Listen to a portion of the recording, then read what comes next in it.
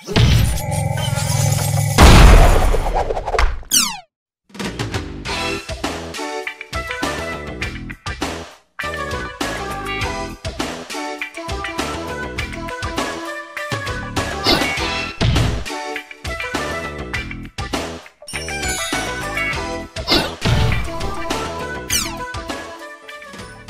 I'm Ted Finch, the president and founder of Chanimal Marketing and Chanimal.com, the ultimate resource for software marketing. Within the next few minutes, you'll hear more about how to finance a high tech startup. You'll hear from some of the nation's top VCs. You'll also hear from several local and regional boutique VCs. Not only will you hear from the partners, but you'll also hear from some of the screeners, those people that actually take your business plan and review it prior to passing it on to the partners. In addition, you'll hear from several CEOs who have been highly successful in financing their own company. And finally, you'll learn of alternative methods to finance your company, including the 504B, which is a backdoor approach to going public. I hope you enjoy what you see. Let's go ahead and hear from the experts.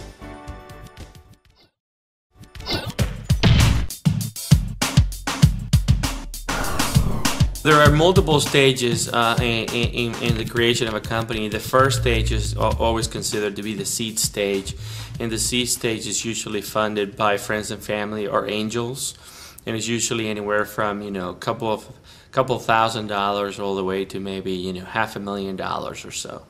The second financing round, which may be your first Series A preferred round, is usually around that can be two to five million dollars. Again, it can be milestone based and that's where you're really looking to establish, to develop the product, to establish some beta customers. And in many cases, you want uh, the product finished and at beta, being tested and being having a customer willing to buy that either that enterprise software product or that device and evaluate that product. Um, the next round is usually the Series B preferred round, and that is a round really that ties to ramping the company to um, profitability, to break even, um, you know, adding more people, uh, and developing the markets, further developing the markets. After that, there's the C and D rounds can be called sometimes mezzanine rounds, and then in the past, after that has been an IPO or an acquisition. You may find some venture capital groups, in fact, uh, in the early, the late 90s, early uh, 2000, you would see venture capital groups actually providing seed stage funding. Um, they've gone away from that, so it's much more difficult for entrepreneurs and startup companies to find that seed capital. Next stage would be uh, a mezzanine level uh, funding where you really would go to a venture capital group or an alternative financing organization who now knows that the, the company has had at least enough to um, launch the company to a degree that they may be close to commercialization. What we're finding is most venture capital companies today uh, are really looking beyond the mezzanine level where they normally had participated in, in years previous to the next stage, which is really beyond initial commercialization to um, to, to a stage where the company really has um, a product in the market, has uh, high enough revenue streams where venture capitalists can now participate either in growing the company, going to a quick IPO, or doing some sort of a roll up.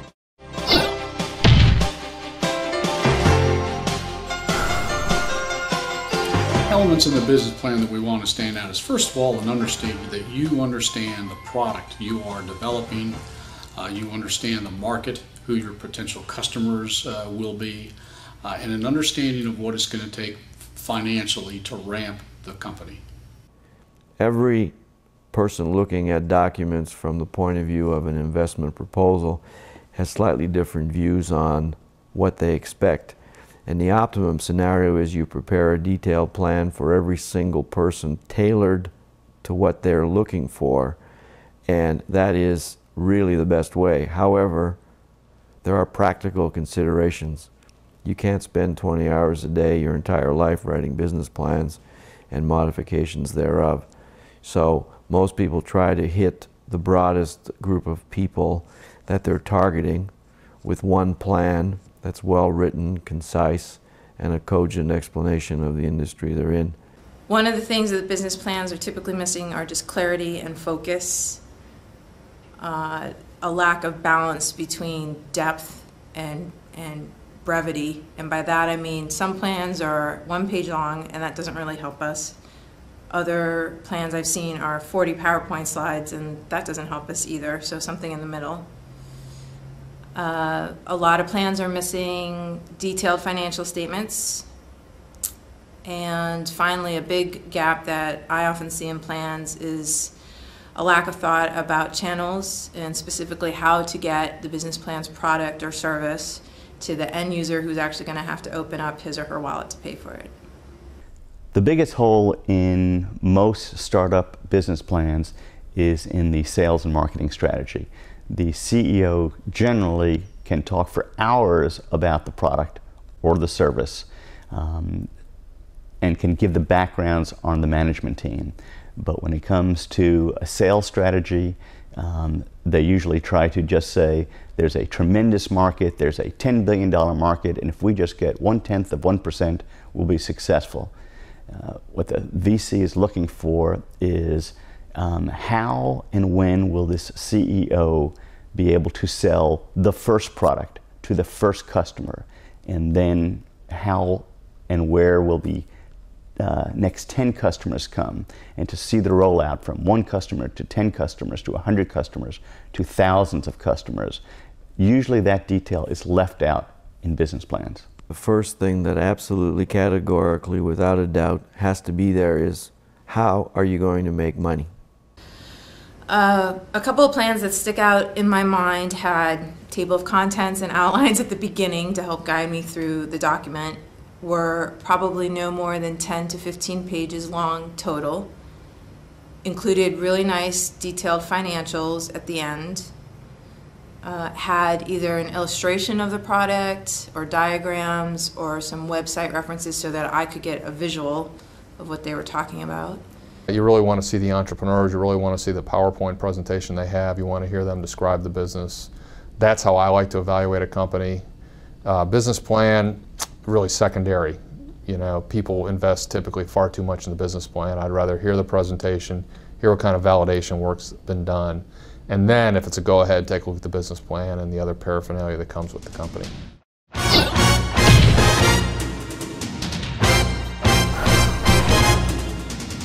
The three things that a, uh, venture capitalist would look for in a, in a, company always has been number one, the management team um, a team that uh, has some experience and has the drive to, uh, to make the company a success.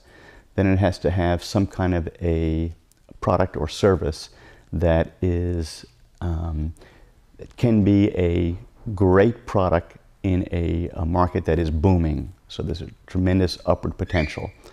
Um, and it has to be in a, a market that uh, can, can beat the competition and do it quickly. I think all VCs um, look at the management team, the product, uh, the market, and the financials. I think investors will uh, primarily want to validate uh, the pain. Uh, are you solving a real problem with your solution? Uh, is there a is there a market for it? And then is the market big enough? If the people are good, the size of the market is big, and it's an industry that's growing and dynamic, you increase the odds of success. Okay, the, the venture capital uh, companies today look at the startups very differently than they did two or three years ago. Now, when they fund a company and they call it an early stage company, they um, it, that's similar to what a company might have been a few years ago called with looking for Series A funding. Today, an early stage company needs to have um, have revenue.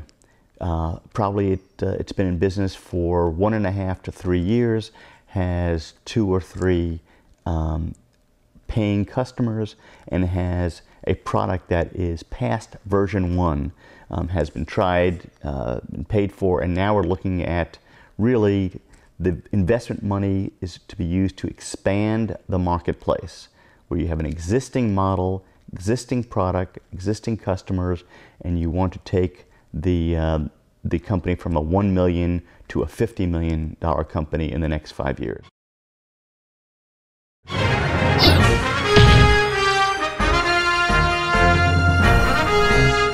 Uh, in real estate, the three most important things are location, location, location. In investing in uh, venture capital situations, the three most important things are management, management, management. The rest of it pales in comparison. Top three things you look for as an investor are experienced management team, experienced management team, and experienced management team. Uh, we place the most weight in our decisions on the management team side in, in probably the managers or the co-founders recognition that they may need complementary still, skills to build their company. Their willingness to accept those skills, their willingness to talk to outside independent advisors, their willingness to um, share equity with, um, with key advisors and key employees.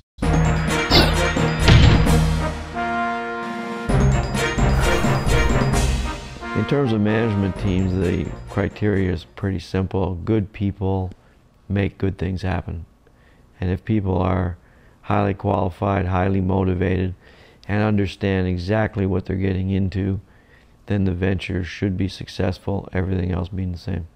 Characteristics of a good management team. Well, I like to I like to talk about execution intelligence, which means the collective ability of the team, emphasis on the team, not the individuals, to perform as a group. You'd like to see people who've been down the learning curve in engineering, in marketing, in operations, in manufacturing, again, depending on the type of business it is, but people who've essentially learned on somebody else's nickel. Then you want to see a team that's very cohesive and knows how to work, work together.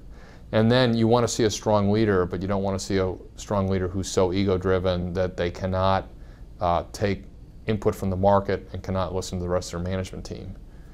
When investors look at a management team, they look at um, really several factors. They really look for an experienced team, a team that you can say has been there and done that, meaning um, taken a startup company or an idea from, from startup and taken through the growth stages, stages and then through a liquidation stage.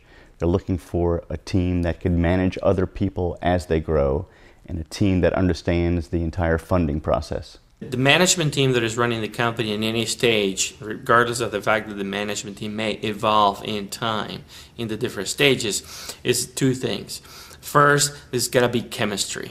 The people must be able to get along and work together, respect each other, be passionate about working with each other, being, you know, and delivering on the promise of the vision. And two, it's very paramount, especially now more than ever, uh, to have experience. Experience either on having done it before in that particular segment of the market or in having been in the similar uh, uh, stages, uh, if you will, of, of the size of a company. Two elements to, uh, that, that we use to identify a quality management team. Number one, their experience. clearly, it comes down to their experience and ability to execute. Uh, most folks have terrific ideas. As we said earlier, ideas are a commodity, execution is king. So we look for folks who true, have a true track record of success relative to execution.